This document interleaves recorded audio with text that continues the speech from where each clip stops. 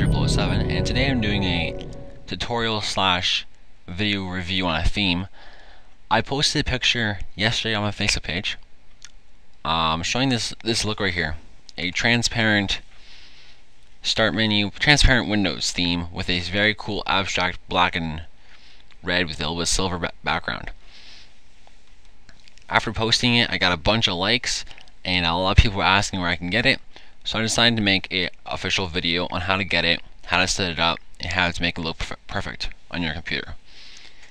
So if you guys go to the description below, you guys can download this file right here, and after extracting it, you will get everything that you see besides that file right there, all these files. So in here we have the start button changer, the orb that I'm using in the corner here, the background that I'm using, and then the two other folders that we need. Now, um, the, the theme doesn't officially come with its own background. Well, it does come with this one, but it kind of sucks actually. But it does work with any background, so if you have your own cool background, you can easily use this one. Um, my dad likes this theme. He's not big into black and red themes, but I actually convinced him to put a custom theme on his computer. So I ended up putting this one on his computer. That way he can have a cool background and he can see it all the time. So guys, to get started, your, your PC's going to need to be patched for uh, third-party themes. So if you don't know how to do that, or if you have no idea what that is, you probably had to have them patch your computer. In order to do that, guys, just go to the uh, link description below. I'll have a video um, explaining how to do that. So once you've done that, guys, open up Windows. Uh, well, first of all, apply the wallpaper. So pick your favorite wallpaper. Um, you can use this one I provided provided, or you can pick your own. Once you've done that, guys, open up Windows 7 button changer. On the side, it's going to show your current store, so yours will be different probably. Um, this is the backup version, or you can go all the way over here, click that, and then find it. So go over to wherever wherever you downloaded it, and then click on it. Everything should flash away for just a couple seconds there, and then boom, you now have your custom orb. Alright, so now to get the uh, custom start menu with the taskbar, in the download you'll have a thing called Full Glass VS, which is Visual Style, for Windows 7. Now, I usually promote a theme manager, which installs everything for you. Um, you still can do it, but for this theme, it's so small and uh, everything like that that I don't really think it's useless. So, to go to install your theme manually guys go to uh, Windows or C Windows Resources Themes. I will have that in the description too just in case you need to look at it. Now the default is C. Some of the different computers now have uh, D maybe. Pro yours is probably C but uh, you should be able to find your Windows drive. Then go to your resources folder then go to your themes folder. And there highlight the top two so which is the AA arrow or A arrow A folder and A arrow A theme theme. Copy both of those. Go over here and paste it. Now I already have it obviously running, so I already don't have to paste it. So once yours is in there, guys, you guys can scroll down to the first one at the top and click on it, and it should apply your theme. So technically, guys, you are done.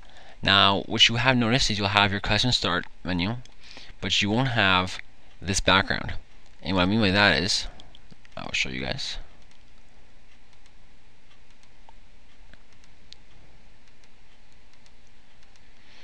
You will probably have it like this.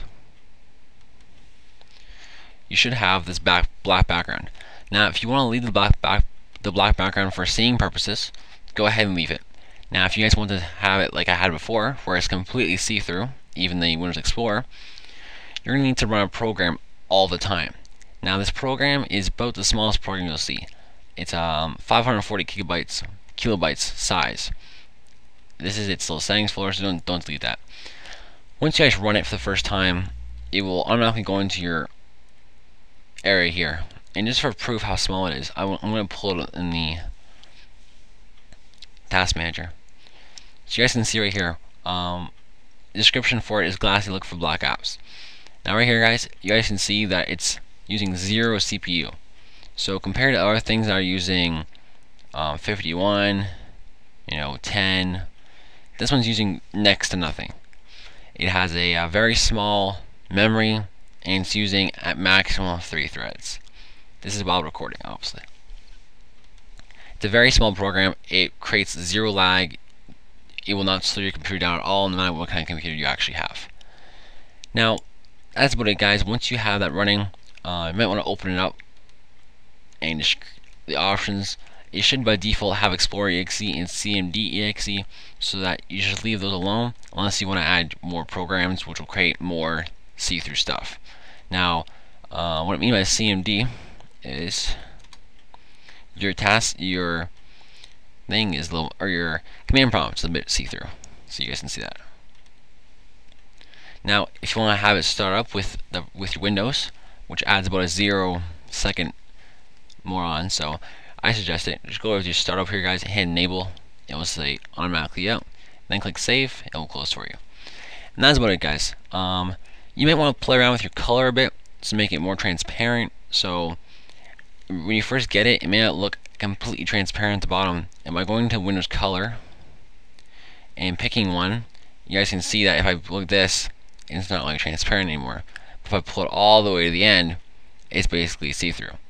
But it is a bit of a tint, so pick your favorite color. So my suggestion is either this one right here or this one right here.